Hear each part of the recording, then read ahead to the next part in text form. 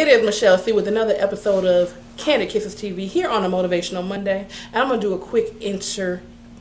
What's the word? I'm looking for intro. That's what it is. It's candid for a reason, nigga, because I ain't getting none of that. so, this guy here is a singer, songwriter, entrepreneur, John Legend impressionist, and Stanky leg champion. Give it up for my homie, Phil Whatley of Ebony League. What's good? What's good? She is, that was a, a wonderful intro. I know who she's talking about. John Legend impressionist. Well, that's definitely me. Yeah, absolutely.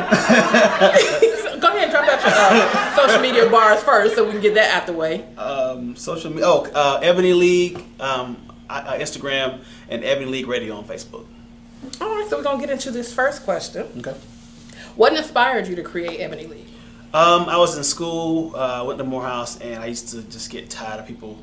Uh, the school itself would refer to us as uh, the Black Harvard or like Black Ivy League, and I just never liked that whole idea that in order for something to be good, you have to associate it with, with whiteness. So, Ebony League was. I didn't invent the, the term Ebony League, but I just started referring to you know the school, and I started talking. I just came up with my own little thing called Ebony League. Okay. And, what inspired? So Ebony League was inspired by the school. So Right. when it came for your branding, for your merchandise, all of it is inspired by what specifically? Um, well, so I I started Ebony League. It was actually an offshoot of this nonprofit that I was running with um, a, a few friends of mine. It's called Cope. And Ebony League was just a, um, a, a, a division under Cope. Um, but then I decided to revamp it about three years ago.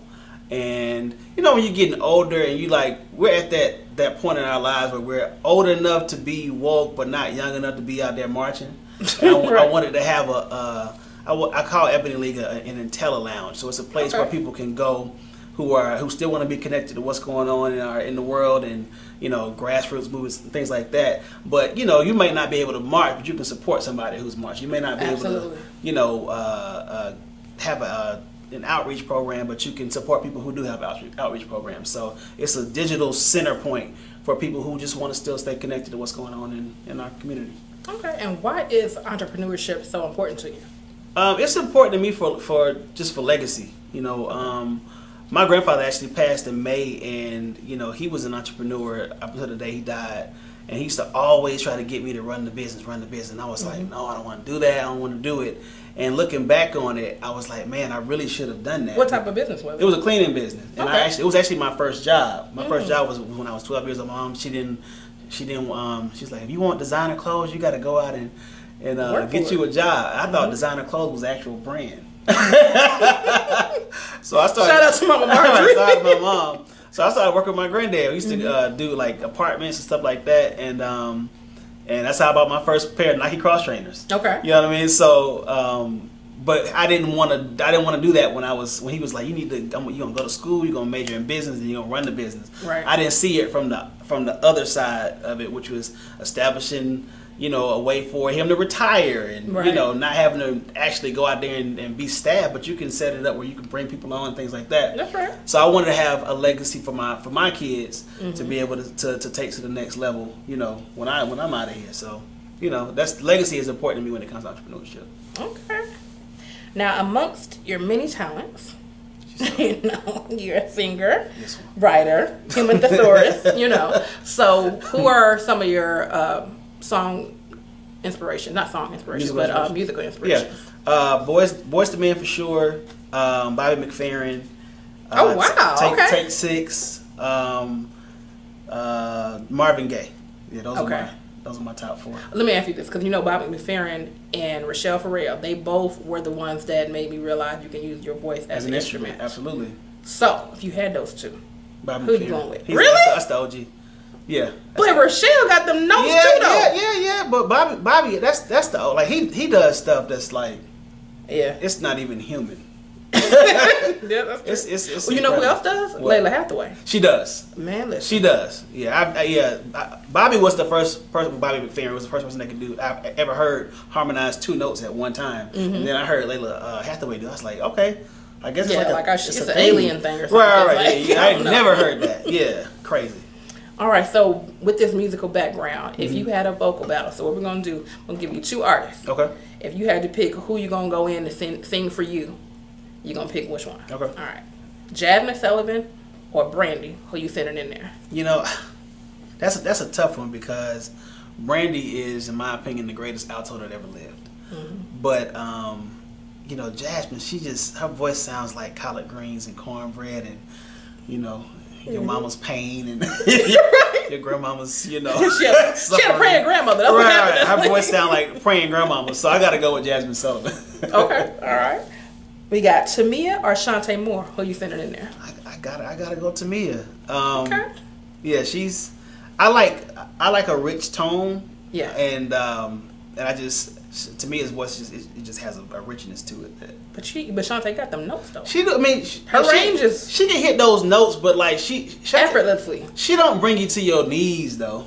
Not, it's not, not me. I mean, she can sing. Like some people are just talented. They can, they can sing. Right. But you know, when you got like that rich tone, you can kind of hear the story in somebody's voice. That's when you know. That's true. That's a singer. Like a. Sam Cooke. You know? Right, right, right, right, right, right, exactly, exactly. All right. Oh, this one gonna get you. Okay. Usher or Avery Wilson? Come on, man. you know, Usher got me through a lot. It got me through a Mm-hmm. lot of uh, unwanted pregnancies and. Um, no, This is his confession. But- like- right, legit. Like he was literally was like the, the soundtrack to my life from like 05 to Oh, 04 God. to 06. Anyway, um, I got Avery is he's an alien, Yeah. you know. But here's the thing: Avery doesn't have the the discography that Okay. that that Usher has. So obviously they're they're just two different. But it's just sheer vocal ability. Right. Now, Usher's that dude now, Yeah. but Avery You is. know what? Let me ask you this then. Let, let's let's take Avery out of the situation. Okay. I'm gonna throw in Mario. Ah, that's tough. Yeah. Ah, I still gotta go Avery with that. But that's but Mario. Okay. I, I was sleeping on Mario until he came out with uh, Mario, "You Should Let Me. Love You." And I was like, okay, you got you know. Mario is a beast. Yeah, yeah. I would I would give the Avery just it's, it's not even fair. Like he he and Jazmine have like it's not even fair voices. Like why why did God even make anybody else to be able to sing? Like, Yes. you know what I'm saying? They, like yep, they dropped. yeah, the, yeah, you know what? just- If, if you're gonna why? go with three, that's not fair. I'm gonna say Jazmine Sullivan, Avery Wilson, Keke Wyatt, hands down. yeah, facts, facts. All right, last one. 50 Tyson or Ice JJ Fish? Hey man, you gotta go with the JJ. JJ Fish is like the R and B radio. Like he's he, he is the R and B radio. Like he's the, The way his confidence is right.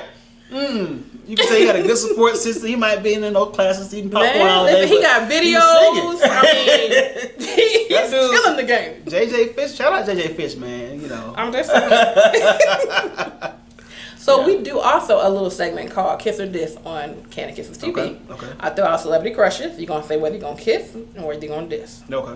All right, first one, Jill Scott. Jill Scott. Or- okay. I was gonna say or Jazmine Sullivan, Jill- but apparently it's Jill Scott. Yeah, I, don't, I mean, unless it was like Jill Scott and Nia Long, then I would. That would ah, I forgot you like Neil You Yeah. Yeah, but nah, Jill Scott. Okay. I love her forehead. she's, okay. She's yeah, Netflix and Jill. Okay. Monica or Brandy? Monica. Okay. And any particular reason? I just, you know, Monica, Monica just, I think she, she's easier on the eyes for me. You know, she's from the South Side. No, you know what's funny? I don't know if you know him. Moat Williams is a comedian. He was saying the only reason he didn't really feel with Brandy like that because she looks like a, um, a roach. But um, See, I might, you know what? That she might then- come across this video one day. I'm not no, but that. no, no. Look, but it was some character he saw on on some cartoon. He was telling me when he told me what cartoon he was talking about. I was just like, you know what, you stupid, because know- I, I could see the similarities. It's all like, about the the the eye. the eye, yeah, I forehead was saying the eyes. I was like, Yeah, it's, it's some. It's just some It's just- alien. Ma- it's like it's. Y'all some- ain't nothing. It's I'm not. tell you listen, straight you, up. You did this. I'm just, I'm just saying, you know, did. you're not the first alien one. koala bear si- situation. And, she- aliens can be. She uh, is a sweetheart. Yeah, and I don't doubt that. But you Right. said Monica or Brandy. I mean, I gotta go with. But I always Both wanted to know Brandy though. if I always if I put her in a, a situation, I always wanted to know why men go the other way because Yeah. it's not like she's not attractive. no, It's just, she's not. Yeah, you know. yeah, she's yeah, she's she's not unattractive. I just Right.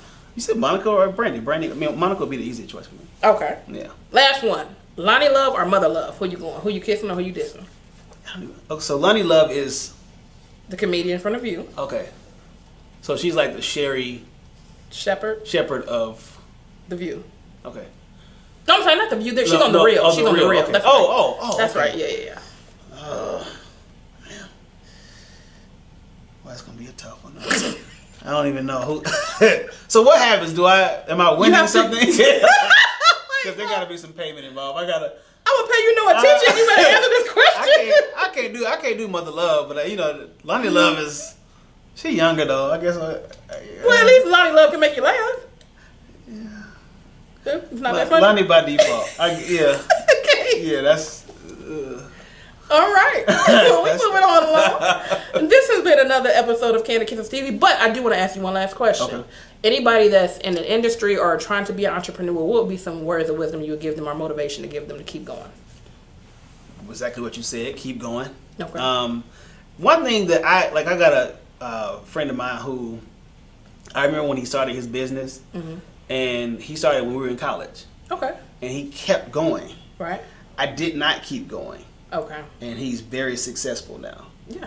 And and not to say that that's the only you know ingredient in that mix, Mm-hmm. but you have to keep going. Like don't put a don't put a timetable. Don't say if I don't have it done in a year or if I'm not at this point in five years and I'm going to stop. If it's something that's really you know a, just a, a part like built into who you are, who your Mm-hmm. what your life purpose is, keep going and let the chips fall where they may. Even if you don't meet those marks, just keep going. You heard what he said. Shout out your Instagram and all your social handles again. Ebony League on Instagram, Ebony League Radio on Facebook. And make sure you go to Ebony League on Instagram immediately because he's going to be doing his stanky leg on there. I'm telling you. We're gonna I tune am into champion. this. Oh, and also Ebony League clothing if you want to get some merch. I got real fly stuff on there. So. And I'm going to beef it up champion just so you know. We out. Hey.